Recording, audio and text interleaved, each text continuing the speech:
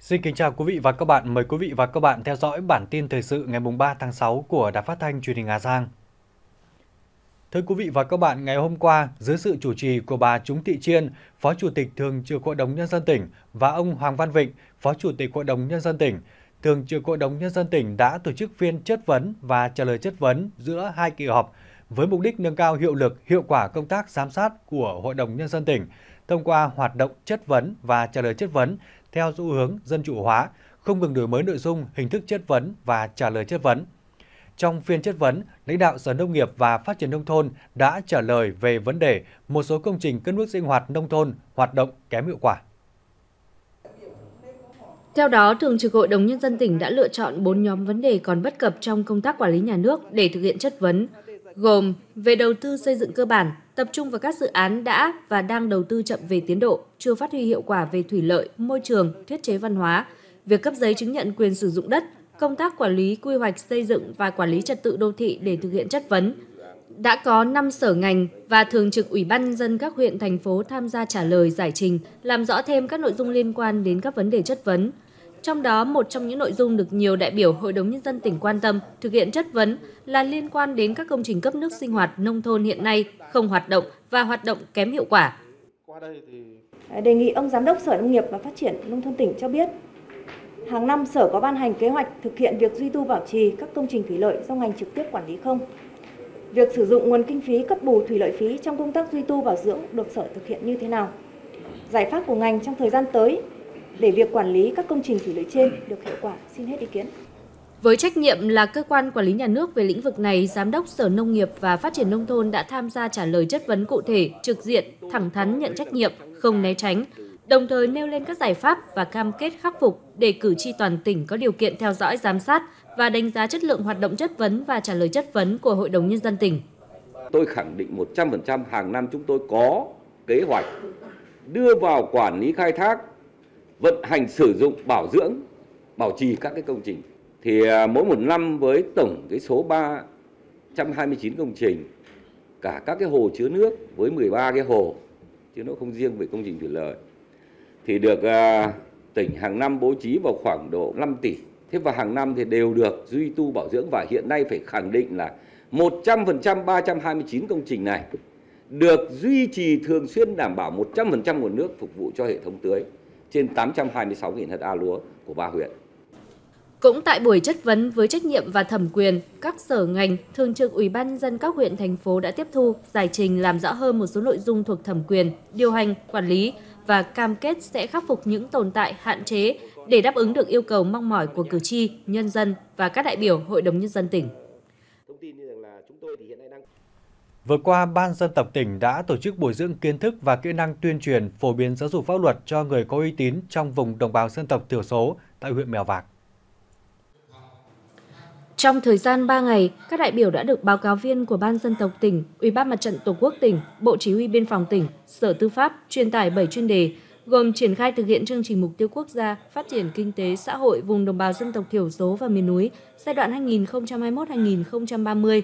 bồi dưỡng kỹ năng nghiệp vụ hòa giải cơ sở và một số chính sách pháp luật liên quan đến khiếu nại, tố cáo, chỉ thị 01 của Thủ tướng Chính phủ và công tác phân giới cắm mốc của tỉnh, công tác phối hợp giữa lực lượng biên phòng và người dân tại địa phương trong bảo vệ đường biên, mốc giới quốc gia, kỹ năng tuyên truyền vận động nhân dân tham gia giữ gìn trật tự an toàn xã hội cho người có uy tín trên địa bàn, công tác dân tộc của Mặt trận Tổ quốc Việt Nam, triển khai thực hiện nghị quyết số 27 của Ban chấp hành Đảng bộ tỉnh về thực hiện xóa bỏ phong tục tập quán lạc hậu, công tác phát huy vai trò của người có uy tín và chính sách đối với người có uy tín trong vùng đồng bào dân tộc thiểu số hiện nay.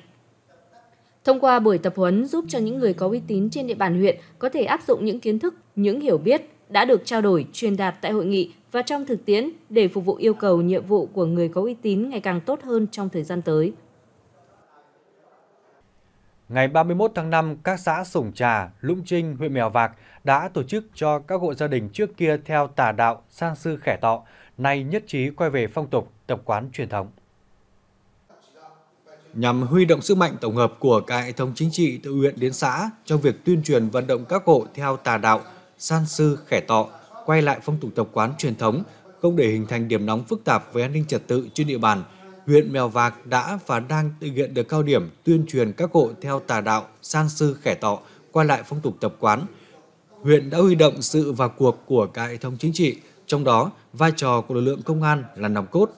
Tại hai xã Sủng Trà, xã Lũng Trinh, sau gần một tháng tích cực tuyên truyền vận động, lực lượng công an huyện phối hợp với công an xã, cấp ủy chính quyền địa phương đã tuyên truyền vận động thành công 14 hộ gia đình trước kia theo tà đạo, nay nhất trí quay về phong tục tập quán truyền thống.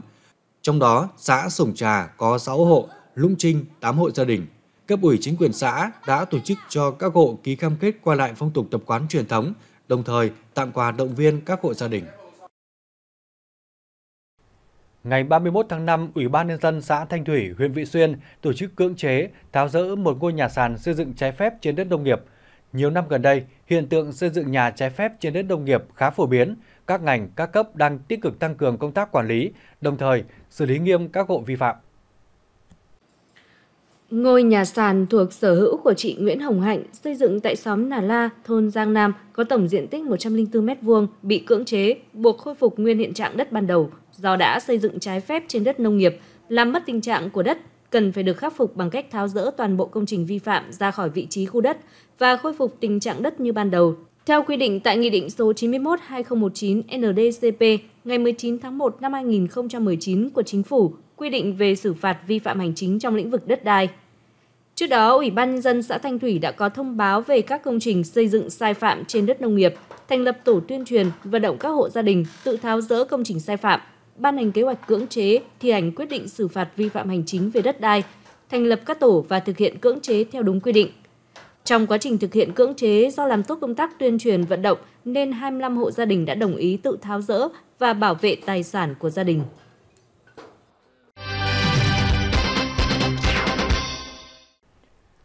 Thực hiện tháng hành động vì an toàn thực phẩm năm 2023 với chủ đề Bảo đảm an ninh an toàn thực phẩm trong tình hình mới từ ngày 15 tháng 4 đến ngày 15 tháng 5 năm 2023 qua công tác kiểm tra đã phát hiện 180 cơ sở vi phạm.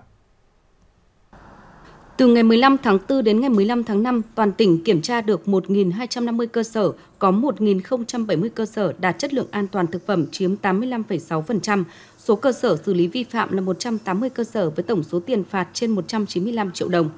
Các vi phạm chủ yếu là kinh doanh hàng hóa nhập lậu, không thực hiện lưu mẫu theo quy định, không thực hiện niêm yết giá bán. Bên cạnh đó, trong tháng hành động vì an toàn thực phẩm năm 2023 đã xảy ra hai vụ ngộ độc do ăn hoa quả rừng làm 8 người mắc, một trường hợp tử vong. Để tiếp tục đảm bảo an toàn thực phẩm trong thời gian tới, Ban chỉ đạo chăm sóc sức khỏe nhân dân tỉnh tiếp tục quan tâm công tác đào tạo, bồi dưỡng kiến thức và kỹ năng quản lý cho đội ngũ cán bộ làm công tác an toàn thực phẩm, tăng cường kiểm tra giám sát, xử lý nghiêm các cơ sở sản xuất, kinh doanh thực phẩm có hành vi vi phạm pháp luật về an toàn thực phẩm. Cùng với đó đẩy mạnh tuyên truyền nhằm nâng cao nhận thức, thay đổi hành vi của người dân, trẻ em, học sinh về lựa chọn thực phẩm. Do ảnh hưởng của thời tiết cực đoan nắng nóng kéo dài từ đầu mùa đến nay, trên địa bàn huyện Đồng Văn không có mưa đã khiến trên 1.200 hecta hoa màu tại các xã thị trấn đang trong giai đoạn sinh trưởng và phát triển bị thiệt hại nghiêm trọng. Theo báo cáo của huyện Đồng Văn, do ảnh hưởng của đợt nắng nóng kéo dài đã gây ảnh hưởng và làm thiệt hại trên 1.263 ha diện tích hoa màu tại các xã thị trấn. Ngoài ra, khô hạn cũng gây thiếu nguồn thức ăn xanh cho đàn vật nuôi do diện tích cây cỏ phát triển chậm. Đây cũng là năm có số lượng hoa màu bị thiệt hại nhiều nhất từ trước đến nay do nắng nóng xảy ra trên địa bàn huyện. Trước tình trạng nắng nóng kéo dài gây thiệt hại hoa màu của người dân, Ủy ban nhân dân huyện Đồng Văn chỉ đạo các ngành, đơn vị liên quan, chính quyền các xã thị trấn tăng cường công tác tuyên truyền, khuyến cáo nông dân thường xuyên theo dõi diễn biến thời tiết, từ đó chủ động các phương án ứng phó với nắng nóng hạn hán. Có giải pháp chăm sóc đối với tất cả các loại cây trồng và vật nuôi, những diện tích không thể tiếp tục sinh trưởng, không cho năng suất, tiến hành trồng thay thế cây trồng khác. Cũng do hiện tượng nắng nóng kéo dài làm thiệt hại nhiều diện tích cây trồng hoa màu bị héo hoặc chết do khô hạn, làm ảnh hưởng không nhỏ tới năng suất, chất lượng cây trồng, vật nuôi, ảnh hưởng đến đời sống của bà con nhân dân một số xã trên địa bàn huyện Hoàng Su Phì. Hơn một nửa hecta diện tích ngô nương trà sớm đang ra bắp nhưng không có hạt và diện tích ngô trà muộn đang chỗ cờ rau hoa của gia đình anh Thào Chuẩn Chú, thôn Nhiều Sang, xã Trên Phố, bị ảnh hưởng nặng do thời tiết nắng nóng kéo dài cục bộ đã làm ảnh hưởng đến tốc độ sinh trưởng của cây trồng. Nhìn những diện tích cây ngô đang bị khô heo lá, gia đình anh năm nay xác định mất trắng. Thì nó cao bằng người rồi, nhưng mà năm nay thì do hàng hán có thì cũng không phải riêng nhà tôi mà tất cả ừ, các cái nhà khác cũng thế mà nó cũng ừ, không nên mà chú thì ra hoa ra bông rồi nhưng mà cũng bị hàng háng xong mà kéo hết. Ừ, vụ ngô này thì khả năng mất trắng. Hiện nay trên địa bàn xã Chiên Phố có tổng diện tích hoa màu dao động các loại gần 500 hecta, trong đó có trên 800 hecta diện tích bị thiệt hại 30 đến 70%. Diện tích ruộng bị nứt nẻ không có nước sản xuất vụ mùa là 180 hecta. Số mạ gieo sản xuất cho vụ mùa bị thiệt hại, bị già hoặc bị chết khô 300 kg giống. Ngoài ra, nắng nóng kéo dài cũng đã khiến nhiều diện tích cây ăn quả, đặc biệt là cây mận máu trên địa bàn xã Chiên Phố bị thiệt hại, ảnh hưởng tới sinh trưởng, phát triển của cây. Thời tiết là năm nay nó hạ hắng hay là nếu nó không biết là xong là về sâu là ừ, dụng dụng hết hoa rồi là quả mấy tí cũng dụng hết. Thì hiện tại là quả cũng rất là ít. Đấy à, thì um, ngoài ra không uh, ngoài ra cây lúa cây mả còn khu hang khu chết nên nó còn mẩn cũng không được mùa. Thì năm nay nói chung là bán ra thì cũng không có mà gọi là rất là ít cái tình hình thực tế như thế thì à, xã cũng muốn à, à, đề xuất với huyện với tỉnh hỗ trợ cho bà con để cái diện tích bị thiệt hại từ đầu năm đến nay, tổng số diện tích cây trồng bị thiệt hại gần 265 hecta, trong đó chủ yếu các diện tích hoa màu vụ xuân như mạ vụ mùa, lúa, ngô, đậu tương, lạc, các loại rau đậu. Mức độ diện tích bị ảnh hưởng từ 30 đến 70% là hơn 140 ha; từ 70% trở lên là hơn 120 ha. Ước tổng thiệt hại do nắng nóng kéo dài cục bộ đến nay khoảng 4 tỷ đồng. Trước diễn biến phức tạp của thời tiết, huyện Hoàng Su Phì chỉ đạo ngành chuyên môn, các xã, thị trấn tuyên truyền vận động người dân thực hiện tốt các biện pháp phòng chống hạn hán cho cây trồng, vật nuôi, chủ động tu sửa cây mương, khơi thông dòng chảy, phục vụ sản xuất vụ mùa, thường xuyên theo dõi tình hình diễn biến thời tiết, chuẩn bị giống lúa ngắn ngày dự trữ, gieo thay thế diện tích mạ bị hạn, tỷ lệ mọc thấp, đảm bảo diện tích lúa cấy vụ mùa. Đối với các diện tích ruộng nắng hạn không có nước, huyện vận động người dân chủ động chuyển đổi sang trồng cây hoa màu ngắn ngày ngay từ đầu vụ. Bước vào mùa nắng nóng, nhu cầu sử dụng nước của người dân tăng cao. Nhằm đáp ứng nhu cầu sử dụng nước của người dân, công ty cổ phần cấp thoát nước tỉnh Hà Giang đã xây dựng và triển khai kế hoạch cung cấp nước an toàn thường xuyên đến khách hàng. Và những ngày nắng nóng cao điểm vừa qua, người dân trên địa bàn thành phố Hà Giang ngoài nỗi lo mất điện thì vấn đề nguồn nước sinh hoạt cũng được đặc biệt quan tâm.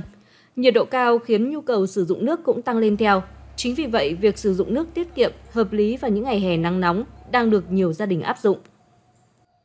Một tài nguyên rất là quý giá đối với ờ, sự sống. Ờ, vậy thì ờ, như gia đình tôi thì thường là mỗi tháng chúng tôi sử dụng tầm khoảng 20 khối trở lên, 20 khối nước. Thế nhưng mà do cái điều kiện thời tiết như này, nắng nóng như này thì hiện bây giờ là cái nước này toàn dân rất cần cho nên nên là chúng tôi cũng có những cái sự tiết kiệm nước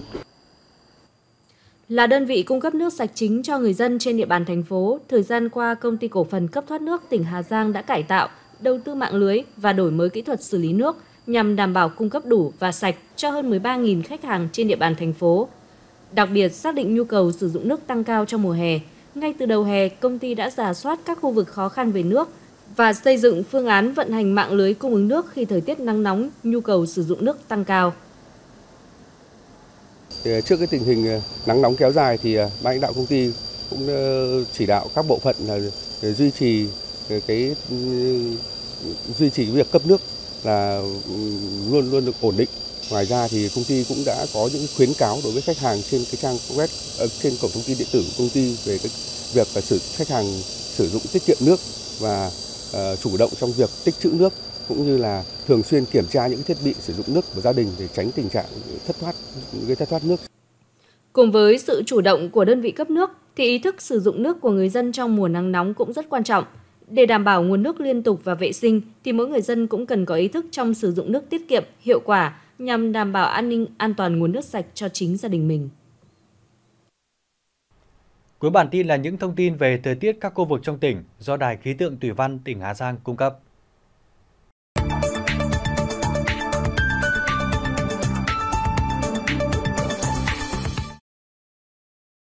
Bản tin dự báo thời tiết ngày và đêm mùng 3 tháng 6.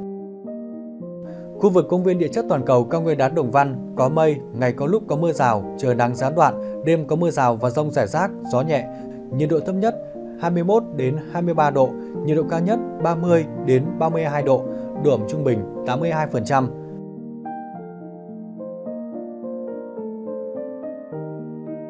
Khu vực di tích quốc gia ruộng bậc thang và vùng núi đất phía Tây có mây, ngày có lúc có mưa rào và rông, trời nắng gián đoạn, đêm có mưa rào và rông rải rác, gió nhẹ, nhiệt độ thấp nhất 23 đến 25 độ, nhiệt độ cao nhất 34 đến 36 độ, độ ẩm trung bình 82%.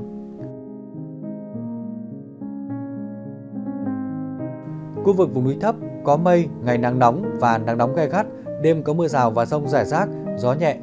Nhiệt độ thấp nhất 24 đến 26 độ, nhiệt độ cao nhất 35 đến 37 độ, có nơi trên 38 độ, độ ẩm trung bình 83%.